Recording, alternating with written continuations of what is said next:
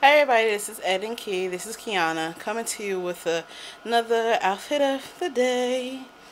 Okay, so I have this dress on, obviously, as you can see.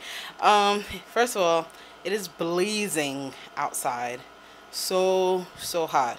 So, I had a little shrug that I was rocking with this, but um, yeah, no, it was just too hot. So, I was just working it out like this. So I showed you this guy. I showed you this dress in my haul. This is a dress that was bought to me from um, for me for my from my mother. Oh, I can't talk today. It's too hot to talk. Okay, sorry. Pulling up my little shorts that I wear underneath here. Okay, there we go. So, once you see this, that's a little V-neck and the detailing around here. Everybody's seen this dress. And I just paired this with um, my little short star necklace. Got my standard watch on. And I have uh, my Juicy Couture inspired bracelet with all the little stars and moons and keys and stuff on it. Um, just have on my little sandals with the ruffle on top that I love so. See, from the back, or somewhat from the back. And then as far as my hair, I'm still rocking Sophie. And I just pinned her up on the sides a little bit. Little oomph. And I have just some basic, a um, little bit wider um, hoops on.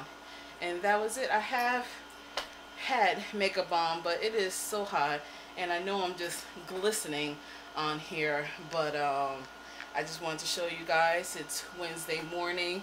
The humming sound in the background is my air conditioner but I just got home so it's taking a while to kick in. But uh, that's it again. Here's the outfit. I hope everybody here that I realized in my last um, outfit of the day that I did I was covering up the mic. So what I said was that this was Sophie by Champagne just in case and I just pulled her back a little bit for a little extra oomph. And I had makeup on, but it's starting to melt off. Just in case you didn't hear that, just wanted to repeat myself. So, again, here's the dress. And it's kind of a dark blue and navy and black. And kind of a lime green and white. And then has these little silver accents on it. And it's comfortable and it's super duper long. And I had a black shrug that I was wearing with it, you know, figuring work. Want to be a little bit more professional, but it was it was just too warm so that's it. Okay guys hope you enjoy. I'll do more again. Bye